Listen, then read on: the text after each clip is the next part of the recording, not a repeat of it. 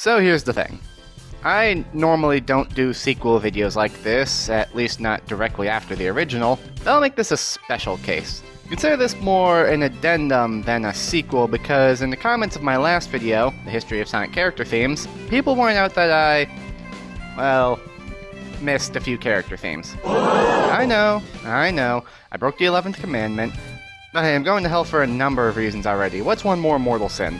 But, while I'm still here, I might as well talk about Sonic a bit more. So let's drag these last few songs kicking and screaming into the limelight, along with one song that quite a few people said I should reconsider. First up, commenter Gaming Street suggested I talk about Knuckles' themes from Sonic 3 and Knuckles. Yeah, he's got two. Actually, all the songs I bring up here I considered for the original video, but cut for one reason or another.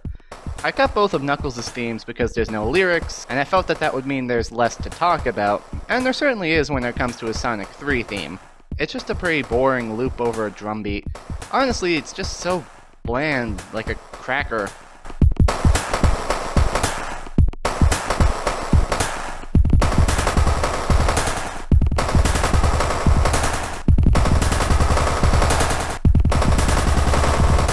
But then you have his theme from Sonic and Knuckles, which is like way fucking better.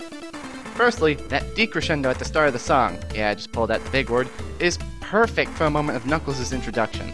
The song itself is a nice beat, and something I didn't talk about too much in the last video, I like that Genesis instrumentation. I know it's all just code meant to simulate actual music, but they did a good job in making it sound like it's being played on a steel drum. That ties in well with Angel Island's tropical theme, which fits for Knuckles.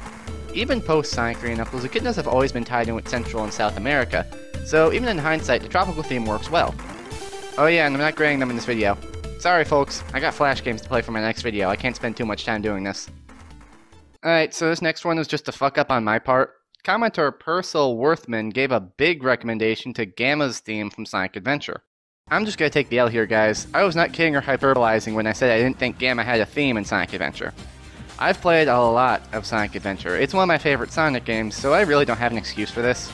Though I can understand why Gamma's theme is overlooked so often, as it really is an outlier in terms of Sonic themes. It wasn't released officially in the game soundtrack, it doesn't have lyrics, it doesn't even have a title. Hell, the Sonic Wiki doesn't even have it listed under Sonic Adventure character themes. If we can't trust the Sonic Wiki, then can we really trust anything? But it's still a character theme, so let's discuss, shall we?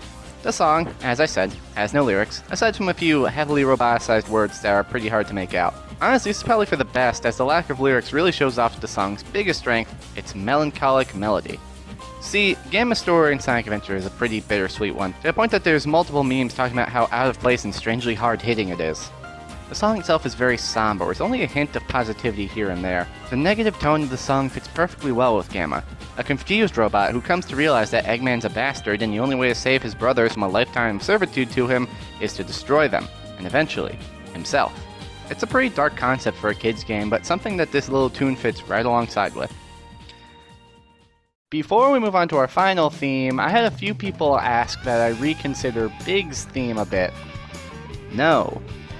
Look, I get Big may have been a fun character outside of the games, but the only non-canon Sonic stuff I've read is IDW. And I watched Sonic X, but that was years ago.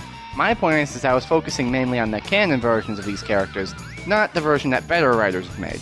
The only genuine comment that I got that made me pause for a bit about Lazy Days is from commenter James Kowenko, who brought up a good point, that being that Big's theme is specifically Southern rock.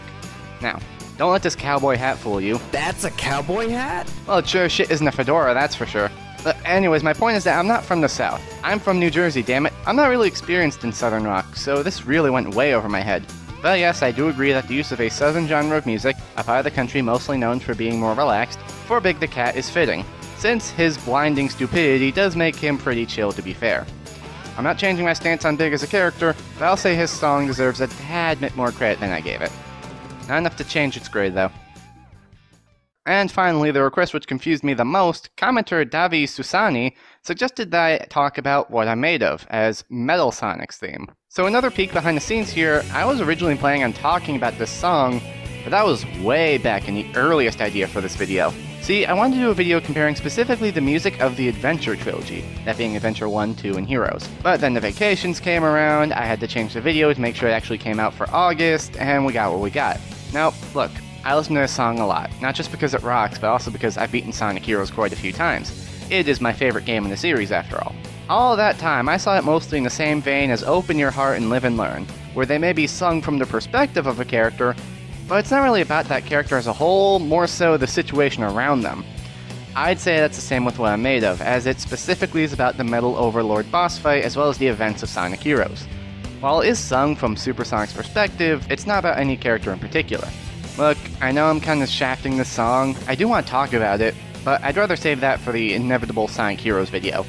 But that is going to have to wait until I reach some big milestone, maybe a thousand or five thousand subs or something around there, because if I'm going to talk about this game, I want to make it a special occasion.